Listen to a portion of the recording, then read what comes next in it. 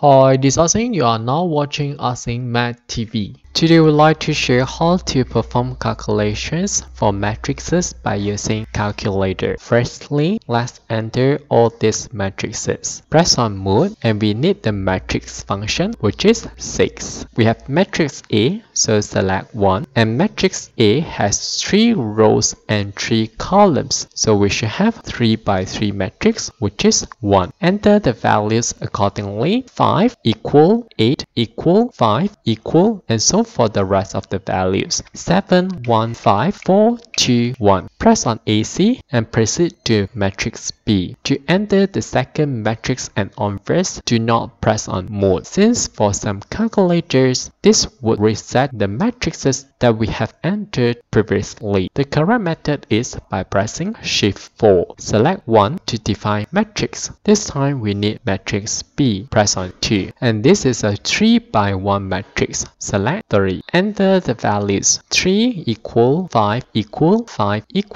Again press on AC and now for matrix C. Press on Shift 4 1 to define matrix. Select 3 for matrix C. This is a 2 by 3 matrix. Select 4. Enter the values. Negative 1 equal, 2 equal, 2 equal. Negative 2, 4, negative 1. Press on AC and we can now perform calculations. For part A, determine the determinant of matrix A. Press on Shift 4 we need determinant which is 7. Shift 4 again and select matrix A which is number 3. Press on equal and we should obtain the correct value. We should take note that in order to obtain the determinant, this matrix must be a square matrix which means that if we determine the determinant for any matrix that is not square matrix, for example the matrix B, when we press on equal we will obtain dimension error. Let's continue for the calculation for part B, determine the transpose of matrix B. Press on Shift 4 and look for 8 for transpose. Shift 4 again and we need matrix B which is 4. Press on equal and we should obtain the correct value. Next for part C, to obtain the inverse, we have Shift 4, choose the matrix directly which is 3 for this case and followed by the inverse button. Press on equal and we should obtain the correct value.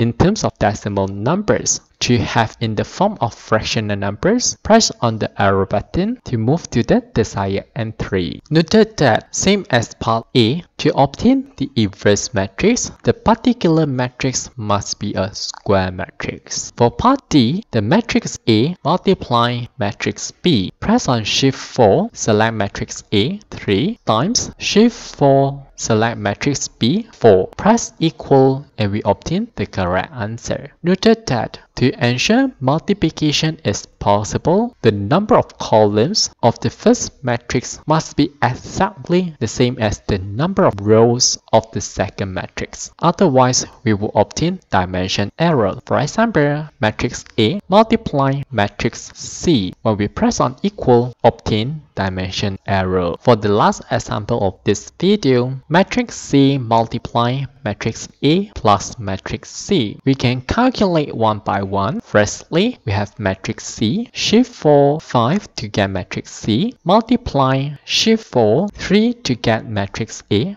press equal and we should obtain the calculations for the first term. And now press shift 4, look for the matrix answer which is 6 and we plus shift 4, the next term is matrix C, select 5 and press equal and we should obtain the correct answer. Alternatively, we could also enter the entire expression. That is, we press on shift 4, we have matrix C 5 multiply shift 4 matrix A 3 plus shift 4 5 for matrix C equal and we should obtain answer directly. Note that either for addition or subtraction, the involved matrices must be of the same dimensions. Otherwise, we will obtain dimension error. For example, if we take matrix B minus the matrix C, when we press on equal, dimension error is obtained. Okay, that's all for this video. Thanks for watching. Hope you like this. See you.